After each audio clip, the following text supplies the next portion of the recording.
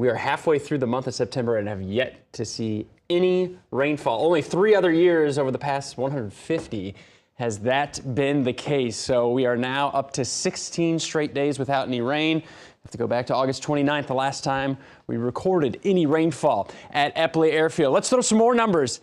We are in the home stretch, seven days now.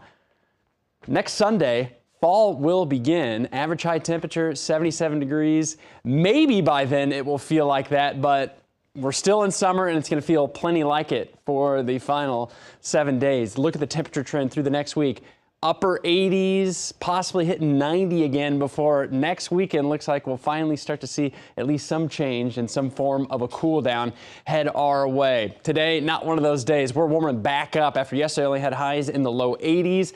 12 hour forecast showing it will be in the low 80s likely by noon today. Any morning clouds will give way to a lot of sunshine. Not terribly breezy, but could see those gusts up to 20 miles per hour or more out of the south, but most of the afternoon and evening in the mid to upper 80s. So outdoor plans look okay, but get ready to sweat a little bit more here on Sunday. That's the West Dodge Expressway looking out from our Charles Schwab Skycam. Looking to the northwest, more clear.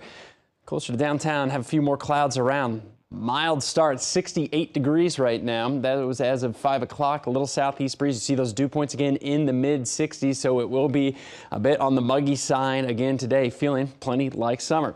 Mid to upper 60s for most in uh, eastern Nebraska and far southwest Iowa, 68 Omaha, 67 Lincoln, Nebraska City, Plattsmouth, 70 still in Maryville. Tad cooler, more comfortable Denison to came up 59, 63 in Harlan. Visibility looking good. May see just a few spots where uh, fog could develop this morning. See right now, Carroll reporting quarter mile visibility, but metro area okay. And I think most will have really good visibility as we go throughout the morning. Fairly quiet now. That rain agonizingly close. A little bit of a shower storm activity in far northeast Nebraska. This is fizzling out. We can see some cloud cover still lingering across parts of eastern Nebraska. Still looks like our dry stretch will continue for a few more days. This model run showing rain potential through Tuesday night. Most activity stays west of the metro.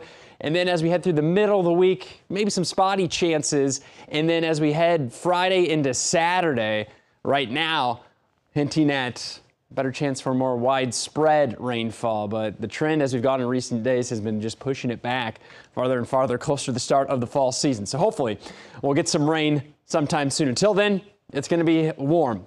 Into the 80s this uh, afternoon, upper 80s for most with more sunshine and Forecast high of 88 today, tomorrow, Tuesday. Still warm, but there's the impact weather. Spotty chances Wednesday and Thursday with more widespread storm chances Friday and Saturday. Hopefully, we won't see the impacts in Lincoln for that Friday night game against Illinois.